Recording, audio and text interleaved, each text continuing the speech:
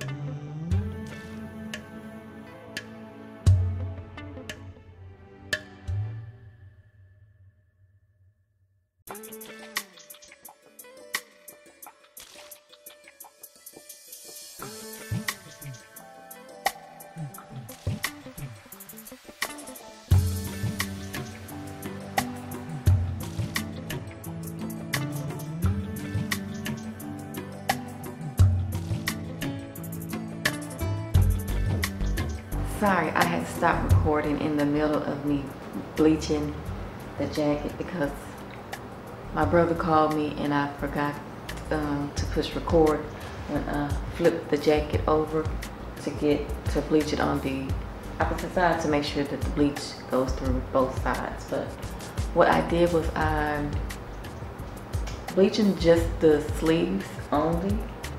So the the whole jacket is not gonna be um, bleached and so I'm doing the sleeves and then I'm gonna let that dry overnight.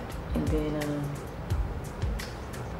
tomorrow I'm going to add the paint to it if I decide to add the paint. And just see how it turns out. I'm not trying to do it perfect because I want it to be you know sort of like kind of imperfect because that's what's gonna make the jacket special. So I'll come back tomorrow when um, I get ready to paint and we'll see how it turns out. Y'all stay tuned. It is like 1 after 1 a.m. in the morning. I could not sleep so I thought I'd get up and come work on the jacket a little more. But I'm really loving it just like this.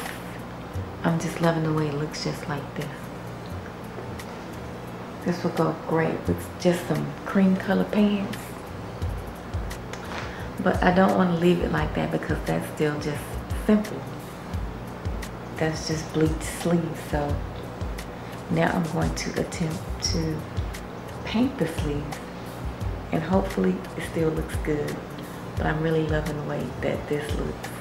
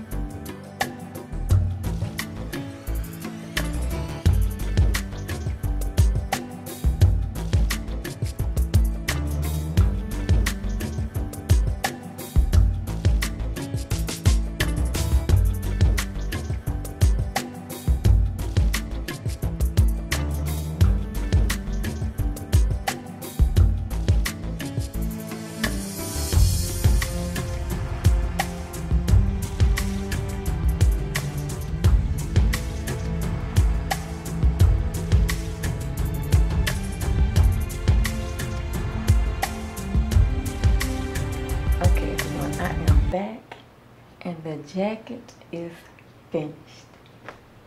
And I must say I'm satisfied. I like it. Um, and since this was my first time um, doing a paint job on a jacket, um, I tried to be on the safe side with it. At first, what I envisioned in my mind, I was going to do like different splashes of different color splashes of paint but the stitching on this jacket is a like a gold stitching. And so that's what color this paint is and it's it's a light gold. I thought it was actually a darker gold. I thought it was the color of the stitching when I got it. But it's actually it actually almost looks the same color as the bleach splatter because the bleach turned out to be like cream color. Since this was my first time doing a paint splatter customization on uh, a jacket, I decided to just be safe. And as I did it, I thought, you know, the cream color of the bleach and the gold uh, paint splatter, it actually looks kind of nice. And at first I was going to go into this area and do bleach spots, but I was kind of afraid that it might spread to the other parts and I didn't want bleach on, you know, these parts. So I just left it, you know, like this. I did the sleeves and I did the collar, the inside and outside of the collar. At first I just did this part, you know, where the collar flips down, but I thought, well, what if somebody wants to pop their collar and wear it up? So I had to put paint on the opposite side. And um, I think it looks really good y'all and I'm really very pleased it's not um, completely done drying. So I'm gonna let it dry for possibly another 24 hours. I'm gonna turn the fan on it. When I um, finish this video I'm gonna put the fan back on it. Let the fan blow on it all night because I want to wash it to make sure that when the after the jacket is worn and it's washed that, you know, the paint stays on there. This is fabric paint and it's supposed to be permanent fabric paint. Hopefully it is permanent as it states it is. Once I started, I couldn't stop. I got up, like I said, 1 o'clock in the morning, doing it some more. And when I got home from work, I did the collar. I bleached the collar this morning. Um, then when I got home from work, I put the paint splatter on the collar. Now this is what I really love doing. I am so much into fashion. Sometimes I, I just dream of, you know, fashion ideas of clothing items in my head. Dream of transforming things that, you know, clothing items.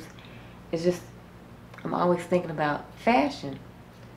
And um, I wish that me doing this I could, I could be successful and I wish that this would pay the bills. You know, I could be successful enough for it to pay the bills because they say when you do something, when you're doing something you love, you're not working.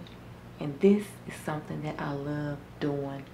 I just have a huge passion for fashion. I really want to learn how to sew so that I can actually make my own clothing. I did attempt to take sewing lessons before at what's the name of that fabric store? Jones, Joann's.